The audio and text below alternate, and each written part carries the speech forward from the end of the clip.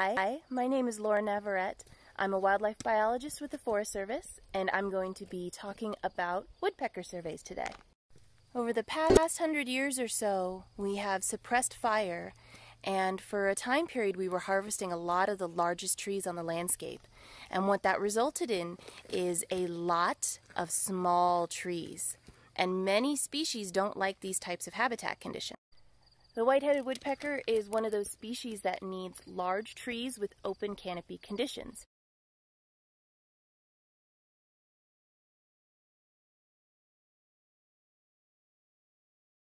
And so now when we are designing our management projects where we harvest specific trees and we return fire to the landscape, we try and keep species like the white-headed woodpecker in mind.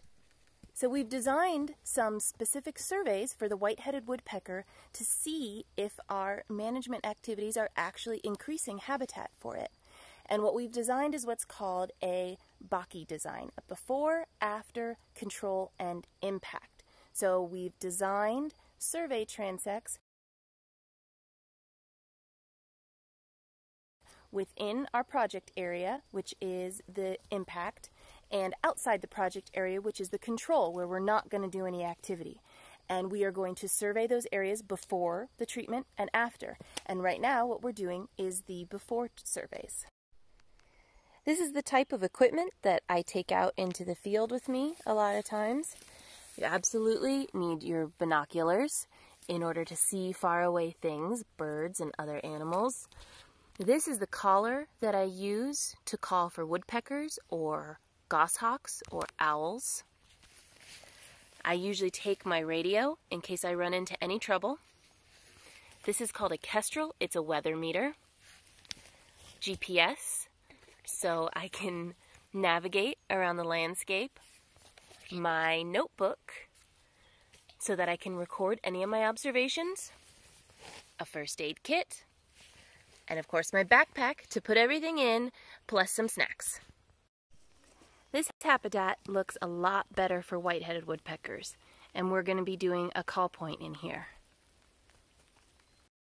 One of the uh, most common ways of surveying for specific bird species is using an audio caller. We use these for goshawks and owls and woodpeckers. And what we do is play their call and their drumming sounds and then stop and look and listen to see if any woodpeckers have responded. So I'm going to start up the caller now and my assistant Finn is going to hold it up over his head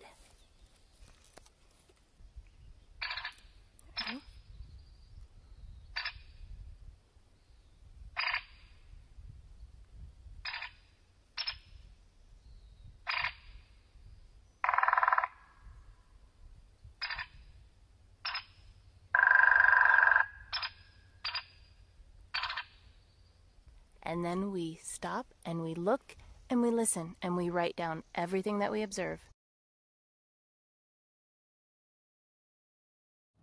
And we got a response from a woodpecker in this stand.